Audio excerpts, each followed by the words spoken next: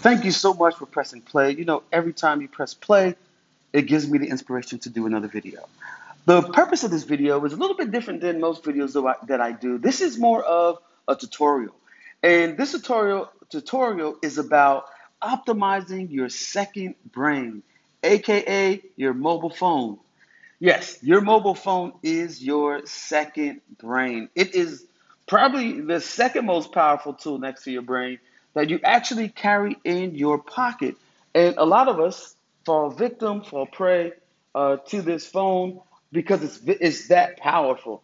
I'm not going to get into you know all the elements that why the phone is addictive and the lighting and all those things that you hear. Um, I think they did a Netflix show about it. Um, but anyway, we're not going to get into that. What I want to show you is how I personally optimize my phone so that I get the most out of this very powerful tool. So let's get started. So the first thing that I did was I went to the back tray here and only chose things in the back that were essential. So sometimes you see the news, you see the um, you can have uh, you can have your social media, all the things that are distracting. I literally just got rid of them, and the only thing I have left is my calendar, the weather. Um, I want to see you know where my battery's at with my phone and my my AirPods. Um, also, um, I have a little map I'm, I'm contemplating whether or not I should keep that, but I have that here now. And then I think the most important piece of this is where I'm spending my time on the phone. And as you see here, I'm spending most of my time in the reminders app, which I'll talk a little more why that's important. So once I kind of got that all edited down, the next thing that I did was usually on uh, the front the, front display page of your mobile phone, there's so many app icons that clutter your uh, your display page, and you're constantly looking. There's red notification buttons. All those things are distractions. So as you see here, um, I actually took all of those. I actually took all of those app icons and categorized and organized them on the second screen so that, that so that I don't actually see it. Now, as you see here, I I actually um, organize it in utilities, finance, media, communication, workspace, and pro- productivity. But uh, what I want to bring your attention to is the productivity one. This is my little secret. I don't tell everybody this. I know sometimes I make it look easy, but the reality is, I have a team of virtual assistants that help me do projects and things that I need, even some of the personal things that I need to get done, small things I don't want to think about. I have a personal team here, right here at the uh, my fingertips, so I can go into my Magic app. I can type, please uh, set RSVP for restaurant uh, I'm spelling it, restaurant, and I can click send, and they can pretty much set, set set up anything. I can do small projects like that, or I can do bigger projects. So this is one of my my secret weapons here. I use two different apps, Fancy Hands and Magic. Um, don't tell anybody I told you. If you made it this far, you really got a simple, a really uh, one of my secrets of productivity. Um, maybe I'll do a, a separate video on that.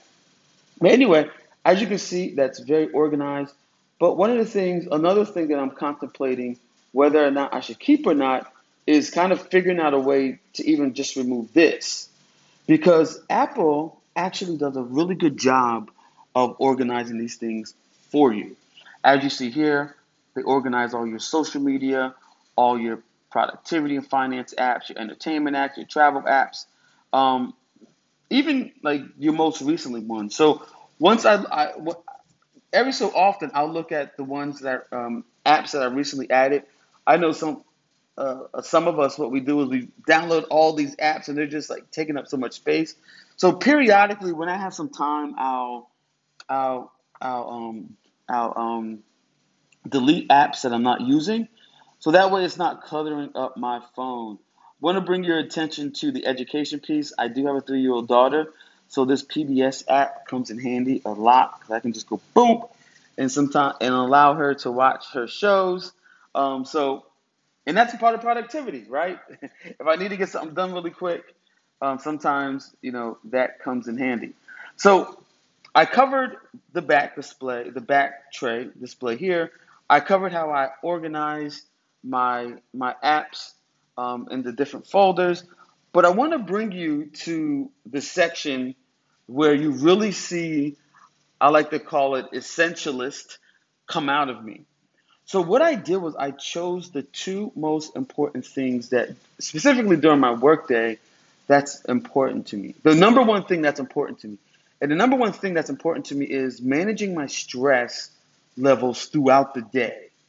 And that's so critical because once you start producing a lot of cortisol, I'm not going to get too deep in it, but you start to produce a lot of cortisol, the, there's so much negative reaction to that. That's that stress hormone that comes up. So one of the things I try to do my best in, in is managing my stress level. So I have this app. One of the things I keep track of is my steps. I try to do about 10,000 steps every single day.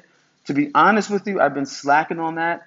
Um, I'm at about 5,000 steps a day, um, but I need to step that up. And, but what that does is that helps me manage my stress throughout the day. And also, I listen to a lot of podcasts and music and stuff like that too. So there's also, where's it at here? There's also uh, headphone audio levels to make sure I'm not overdoing it.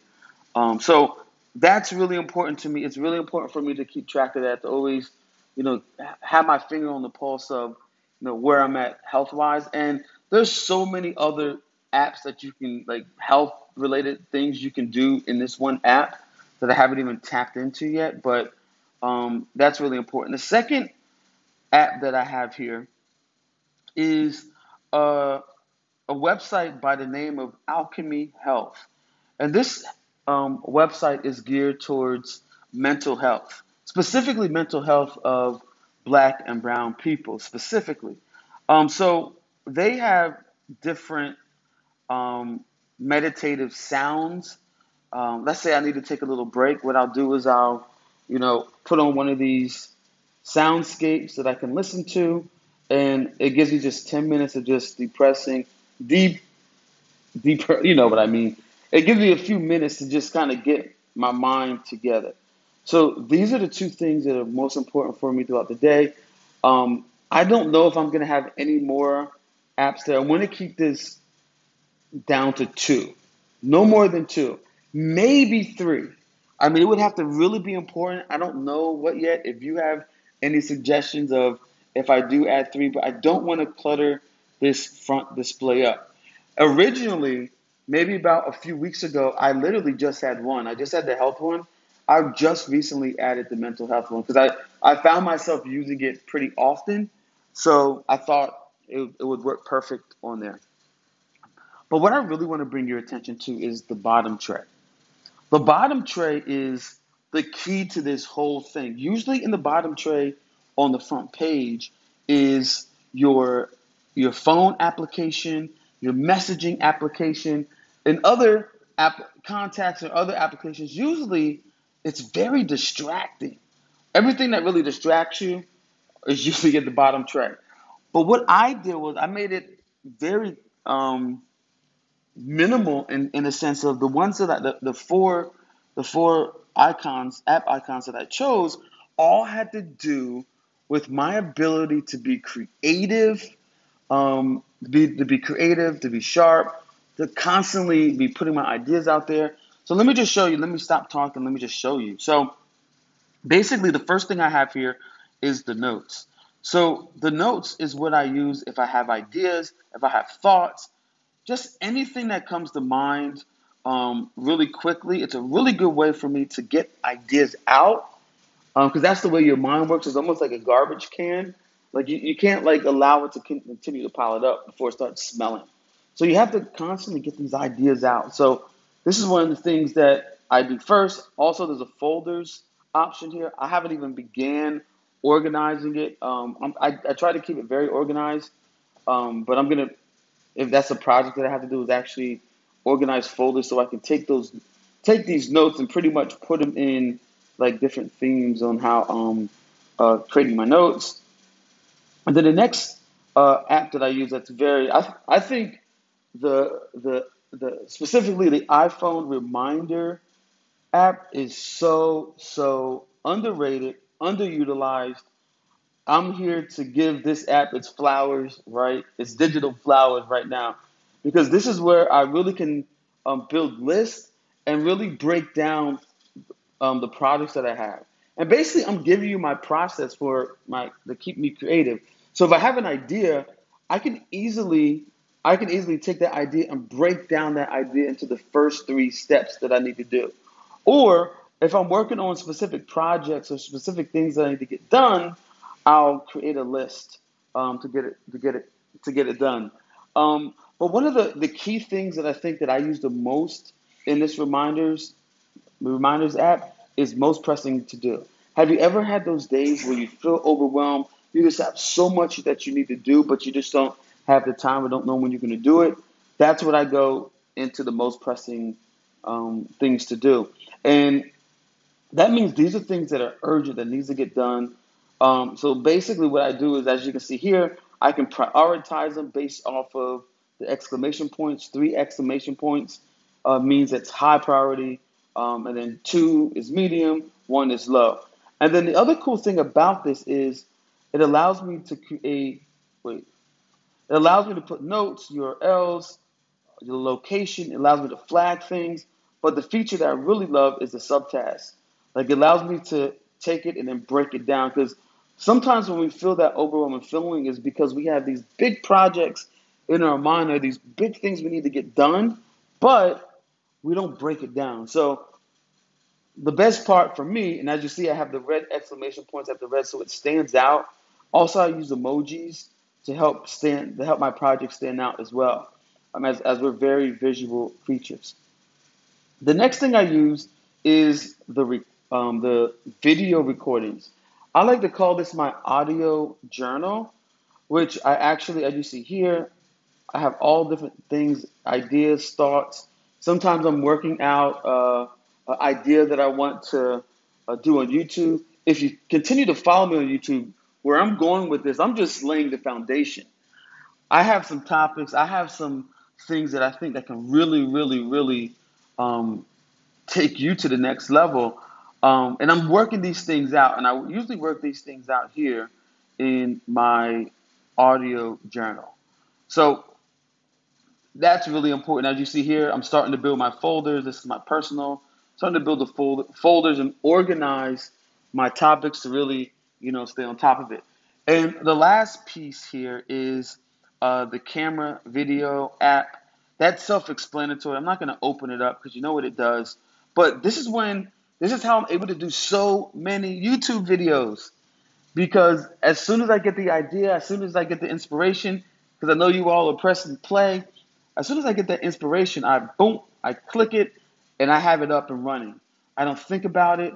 I just whatever's on my heart or my mind at that moment, I record it. But this is the reason why because I have it right there on my fingertips, um, and it keeps me um, it keeps me productive and it keeps me creative. So with that said, that's how I optimize my second brain. Just a really quick recap. I, the first thing I do is I go here and I pretty much get only focus on the essential things, and then I organize all the apps that you know that I need that I use on a pretty much daily basis.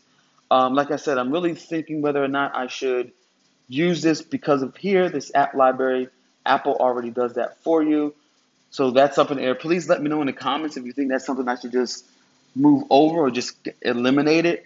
Um, and then I put no more than three high priority apps on the front display.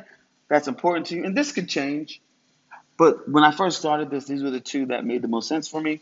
And then the the main one, like the, the, the last tray here with the four, with the um, the notes the reminders, the video recordings, and the phone, and the I'm sorry, in the camera video, that's where the magic happens. That's where the magic happens. So with that said, um, what I'm gonna do is a really quick.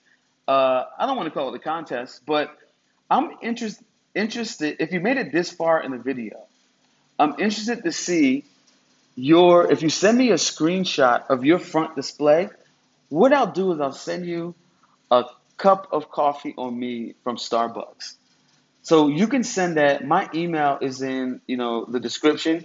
Get my or my phone number is also in the description, but put it email is probably better. But um but um yeah, send me your, your a screenshot of your display. If you send it to me, I will send you a cup of coffee on me from Starbucks. Um, I want to see how you organize your your um, screen. I'll be hanging out in the comments for a little bit. Peace.